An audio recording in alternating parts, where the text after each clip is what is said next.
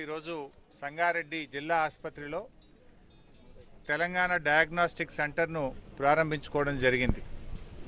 ఈ తెలంగాణ డయాగ్నోస్టిక్ సెంటర్లో యాభై ఏడు రకాల పరీక్షలు ఉచితంగా నిర్వహించబడతాయి.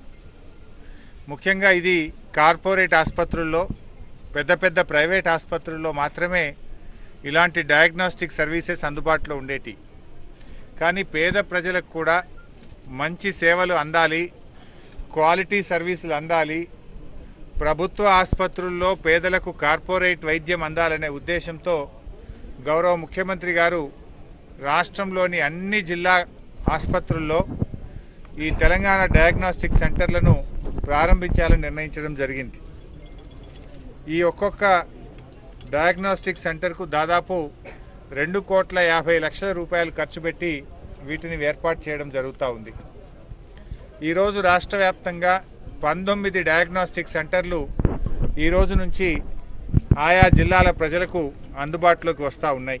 ఆ పదహారు కూడా అందుబాటులోకి వస్తే రాష్ట్రంలోని అన్ని జిల్లాల్లో కూడా పేద ప్రజలకు ఉచితంగానే రక్త పరీక్షలు మూత్ర పరీక్షలు యాభై ఏడు రకాల పరీక్షలు నిర్వహిస్తారు. ముఖ్యంగా ఇందులో కిడ్నీకి సంబంధించి లివర్కి సంబంధించి షుగర్కి సంబంధించి లిక్విడ్ ప్రొఫైల్ కానీ థైరాయిడ్ కానీ హార్ట్ కానీ యూరిన్ టెస్ట్లు ఇలా యాభై ఏడు రకాలు అన్ని రకాల రోగాలకు సంబంధించి కూడా పరీక్షలు చేయబడతాయి. జనరల్గా ఎవ్వరికి కూడా ఏదైనా ఒక జ్వరం కానీ దగ్గు కానీ రోగం కానీ నొప్పి కానీ వచ్చినప్పుడు పరీక్షలకు రాస్తుంటారు. ఈ మిషన్ వల్ల తొంభై శాతం రోగాలకు సంబంధించిన పరీక్షలు పేద ప్రజలకు అందుబాటులోకి రాబోతా ఉన్నాయి. ఇది జనరల్గా ఈ పరీక్షలు బయట చేసుకోవాలంటే నాలుగు వేల నుంచి ఐదు వేల రూపాయలు ఖర్చు అవుతుంది సో ఇంకొక రూపాయి కూడా ఖర్చు లేకుండా సంగారెడ్డి జిల్లాలోని ఇరవై ఐదు చోట్ల అంటే ప్రతి మండల కేంద్రంలో ఉండే పిహెచ్సి కానీ అర్బన్ హెల్త్ సెంటర్ నుంచి రక్త నమూనాలు తీసుకొని ఈ ఆసుపత్రిలో ఇక్కడ డయాగ్నోస్టిక్ సెంటర్కు తీసుకొచ్చి ఈ యొక్క పరీక్ష ఫలితాన్ని ఇరవై నాలుగు గంటల్లోగా వారి యొక్క సెల్ ఫోన్లకు పంపించడం జరుగుతుంది. అంటే పరీక్ష ఫలితం కోసం కూడా మళ్ళీ ఆసుపత్రికి రావడమో రిపోర్టుకు రావాల్సిన అవసరం లేదు. శాంపుల్స్ ఇప్పుడు సంఘ ప్రతి ఒక్కరూ కంగటి వాళ్ళు నారాయణఖేడ్ వాళ్ళు జహీరాబాద్ నుంచో మొగడంపల్లి నుంచో అందోల్ నుంచో మునిపల్లి నుంచో సంగారెడ్డి రావాల్సిన అవసరం లేదు. వారి వారి మండలాల్లో పిహెచ్సిలోనే రక్త నమూనాలు స్వీకరించి దానిని నాలుగు రూట్లుగా విభజించి నాలుగు వాహనాలు ఆ రక్త నమూనాలను తెచ్చి డయాగ్నోస్టిక్ సెంటర్లో పెట్టి దాన్ని పరీక్ష చేసి పరీక్షా ఫలితాన్ని ఇక్కడి నుంచే నేరుగా ఆ పిహెచ్సి డాక్టర్కు పంపిస్తారు. రక్తం ఇచ్చినటువంటి రోగి యొక్క సెల్ ఫోన్కే నేరుగా పరీక్షా ఫలితాలను పంపించడం జరుగుతుంది. అంటే వేగంగా జరుగుతుంది క్వాలిటీతో జరుగుతుంది. మంచి హై అండ్ హై క్వాలిటీ మెషిన్స్ను ఈ తెలంగాణ డయాగ్నోస్టిక్ సెంటర్లో పెట్టాం. సంగారెడ్డి జిల్లాకు సంబంధించి మనం నాలుగు రూట్లు ఈ జిల్లాలో ఉండే ఇరవై ఐదు పిహెచ్సి మరియు యుహెచ్సిల నుంచి రక్త నమూనాలు సేకరించి జిల్లాలోని అందరూ ప్రజలకు కూడా ఉచితంగా ఈ యొక్క పరీక్షలు నిర్వహించడం జరుగుతుంది. రెండో విషయానికి వస్తే త్వరలోనే ఒకటి రెండు రోజుల్లోనే కరోనాకు సంబంధించి కూడా కొన్ని పరీక్షలు ఈ మధ్యలో బయట చేయించుకుంటే ఆరు వేల నుంచి పదివేల రూపాయల దాకా వసూలు చేస్తున్నారు. డి డైమర్ కానీ అదేవిధంగా ఫెరిటిన్ కానీ సిఆర్పి కానీ ఎల్డిహెచ్ లాంటి పరీక్షలు బయట కరోనా వచ్చిన రోగులు కరోనా తగ్గిన తదనంతరం ఈ పరీక్షలు చేసుకుంటున్నారు.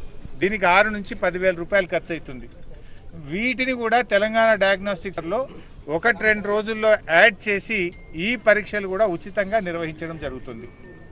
ఇప్పుడు ఈ తెలంగాణ డయాగ్నోస్టిక్ సెంటర్ ఏర్పాటు చేయడానికి ఒక్కొక్క సెంటర్కు రెండు కోట్ల యాభై లక్షల రూపాయలు ఖర్చు కావడమే కాకుండా ప్రతి నెల రీఏజెంట్స్ కోసం కూడా ఒక ఇరవై లక్షల రూపాయలు ఖర్చు అవుతాయి సో ఖర్చు అంతా కూడా రాష్ట్ర ప్రభుత్వమే భరించి పేదలకు ఉచితంగా ఈ యొక్క పరీక్షలు నిర్వహించడం జరుగుతుంది.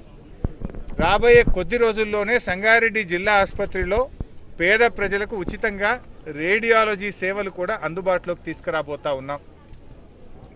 ముఖ్యంగా ఇక్కడ మా గౌరవ ఎంపీ ప్రభాకర్ రెడ్డి గారు సంగారెడ్డి జిల్లా ఆసుపత్రిలో సిటీ స్కాన్ పనిచేయడం లేదని గతంలో ఒకటి రెండు సార్లు నా దృష్టికి తీసుకొచ్చారు. దాన్ని మరమ్మతు చేయడానికి ప్రయత్నం చేస్తే అది సాధ్యం కాలేదు.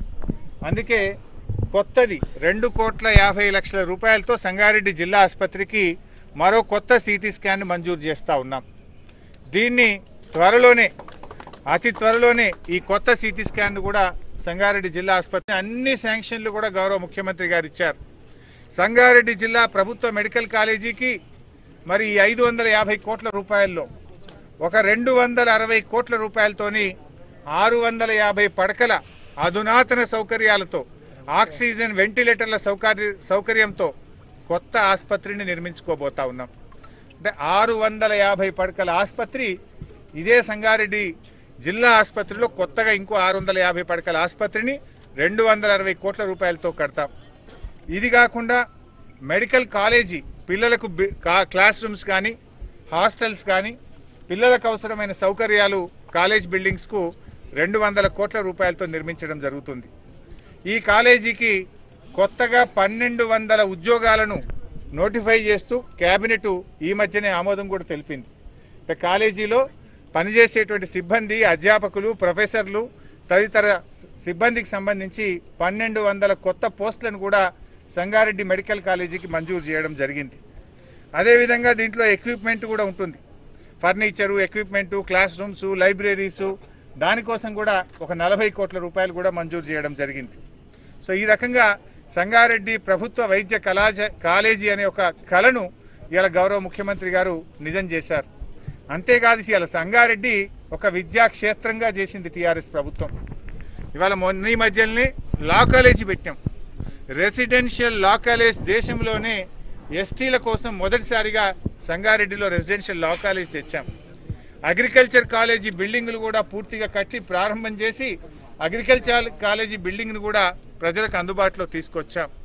అంటే వైద్యం న్యాయం వ్యవసాయం ఇంజనీరింగ్ అన్నీ ఉన్నటువంటి జిల్లా ఈరోజు సంగారెడ్డి జిల్లా. ఒకవైపు జేఎన్టీయు ఇంకొక వైపు ఐఐటి ఒకవైపు ప్రభుత్వ వైద్య కళాశాల రెండు ప్రైవేట్ వైద్య కళాశాలలు అగ్రికల్చర్ ఇంజనీరింగ్ కాలేజీ అదేవిధంగా టూరిజం కాలేజు అన్ని రకాల విద్య ఈరోజు సంగారెడ్డి జిల్లాలో ప్రజలకు అందుబాటులోకి వచ్చింది. అంటే ఒక విద్యాక్షేత్రంగా కూడా ఇవాళ సంగారెడ్డి జిల్లాను మన ప్రభుత్వం అభివృద్ధి చేస్తూ ఉంది. ఇది గౌరవ ముఖ్యమంత్రి గారి కృషితో సాధ్యమవుతా ఉంది. అదేవిధంగా ఈరోజు నర్సింగ్ కాలేజ్. ఈ మెడికల్ కాలేజీకి అనుబంధంగా వంద సీట్లతో నర్సింగ్ కాలేజీ కూడా తెచ్చుకున్నాం. వంద యాభై సీట్లతోనేమో మెడికల్ కాలేజీ వంద సీట్లతో నర్సింగ్ కాలేజీని కూడా మన సంగారెడ్డికి శాంక్షన్ చేసుకున్నాం. ఈ వంద సీట్ల నర్సింగ్ కాలేజీ నిర్మాణం కోసం కూడా ప్రభుత్వం ఒక యాభై కోట్ల రూపాయలు మంజూరు చేయడం జరిగింది. దీనికి ఒక వంద ఎనిమిది పోస్టులు కూడా శాంక్షన్ చేశాం. అంటే నర్సింగ్ కాలేజీ ప్రొఫెసర్స్ కానీ టీచర్స్ కానీ దాంట్లో పనిచేయాల్సిన సిబ్బందికి సంబంధించి ఒక వంద ఎనిమిది పోస్టులను కూడా మంజూరు చేయడం జరిగింది. అంటే పన్నెండు వందల పోస్టులు మెడికల్ కాలేజీకి నూట ఎనిమిది పోస్టులు నర్సింగ్ కాలేజీకి కూడా సంగారెడ్డి కోసం గౌరవ ముఖ్యమంత్రి గారు కేబినెట్ ద్వారా ఆమోదం కూడా తెలపడం జరిగింది.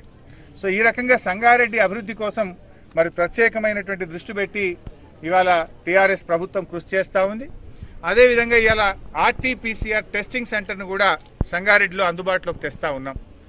అప్పుడప్పుడు మనం ర్యాపిడ్ టెస్ట్లలో ఫాల్స్ నెగిటివ్ వస్తూ ఉంది. ఆర్టీపీసీఆర్ టెస్ట్ చేయాలంటే సంగారెడ్డి జిల్లాలో తీసుకున్న శాంపిల్స్ను హైదరాబాద్కు పంపాల్సి వచ్చేది. గాంధీ ఆసుపత్రికో సీసీఎంబీకో పంపించి ఆర్టీపీసీఆర్ పరీక్ష ఫలితాలు తెప్పించడానికి ఒక్కోసారి రెండు రోజులు మూడు రోజులు కూడా పట్టింది. సో అట్లా ఇబ్బంది కావద్దు. ఇక్కడే ఆర్టీపీసీఆర్ టెస్టింగ్ సెంటర్ కరోనా కోసం పెట్టాలని చెప్పి నిర్ణయం తీసుకున్నాం. ఈరోజు ఆర్టీపీసీఆర్ టెస్టింగ్ సెంటర్ను కూడా సంగారెడ్డిలో ప్రారంభిస్తూ ఉన్నాం. సో జిల్లాలో ఏ మండలంలో ఆర్టీపీసీఆర్ శాంపిల్స్ తీసుకున్నా ఇరవై నాలుగు గంటల్లోగానే ఆర్టీపీసీఆర్ పరీక్ష ఫలితాన్ని ఆయా టెస్ట్ చేసుకున్నటువంటి వారికి సెల్ ఫోన్లో మెసేజ్ రూపంలో పంపించడం జరుగుతుంది. సో ఈరోజు తెలంగాణ డయాగ్నోస్టిక్ సెంటర్ను ఆర్టీపీసీఆర్ టెస్టింగ్ సెంటర్ను ఈ రెండు కూడా ప్రజలకు అందుబాటులో తేవడం జరుగుతూ ఉంది. అదేవిధంగా ప్రభుత్వ వైద్య కళాశాలకు సంబంధించి కూడా మా జిల్లా కలెక్టర్ గారు హనుమంతరావు గారు పంపిన రిపోర్ట్ ప్రకారంగా ఇప్పుడున్న జిల్లా ప్రభుత్వ ఆసుపత్రిలోనే దాదాపు ముప్పై ఆరు ఎకరాల భూమి అందుబాటులో ఉన్నది.